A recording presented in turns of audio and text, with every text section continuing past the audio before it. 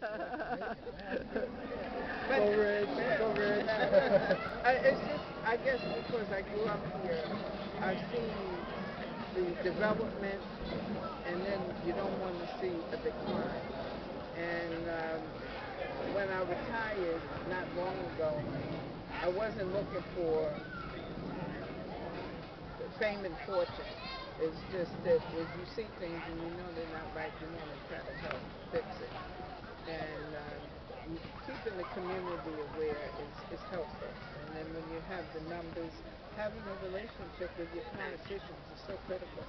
Uh, because right now, economically, everybody's challenged with unemployment. Uh, and of course, the foreclosure rate, you know, is outstanding. What do you do? And so we've tried to hold little um, informational workshops at our monthly meetings to make people aware. Well, look into modifications. Do you know the there are some regulations that have been passed to help? You know, um, the Long Housing Partnership came to see me a couple of weeks ago, and they'll bring in their staff members to work one-on-one with someone who's in the home, and they'll work out, um, they'll do all the work to arrange a renegotiation bank. So a lot of times it's hard for just an ordinary homeowner Yeah. to figure out how to get through the, through the bureaucracy. Oh, please.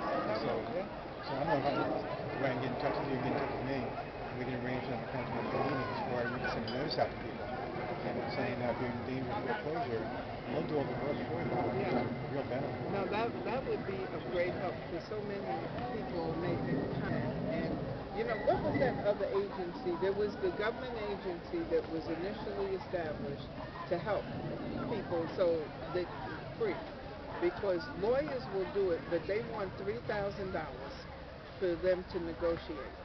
Um, I was in hot water, so I can speak from um, experience, and I was recommended to this government agency. They started the paperwork, but ended up on Channel 12 News, and then um, I think you, you, I can't call the name, but I was able to stay on top of it, and I got a modification put pushed through that dropped my interest rate from almost 13% down to 2.37% uh, for five years, and then it'll freeze at 5% at a certain point.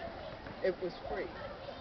But most people didn't know about this organization initially, and many people went all the way to foreclosure. I was good, but I stayed on top of it.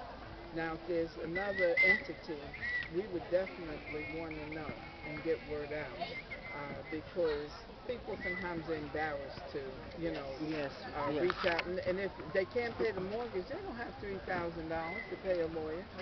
Mhm. Oh, we got the statistics. If I'd have known, I would have bought them. But the number of foreclosures in the Nassau County region is phenomenal. And uh, so with that, if we can uh, get more help to people, they might be able to cut deals with their mortgage companies, you know. And so the council has had interest in that area. I would like to see us try to get more grant money to establish either more summer jobs or throughout the year jobs, um, maybe help with educational support. Um, I worked at Jacobi Hospital. I just retired at 31 years, so I was uh, uh, director of education and I ran the uh, employment operation for 15 years. So you know I know the realm, and even just educating the young. Where do you go now for employment? You get a degree in uh, business admin. It's not specific. We used to hire people with a four-year degree and a big school loan, and they couldn't get a job. So uh, employment mentoring can be of great help. Healthcare today is the way to go. You know, like it or not, get it started anyway. So we've been trying to do that, and in our meetings, um, plant the seed. If we can get more support, we would do a lot more. So uh, if there's training money available, I know people will pack out the car. If you can help me go to college, because that's going to be the key to it all.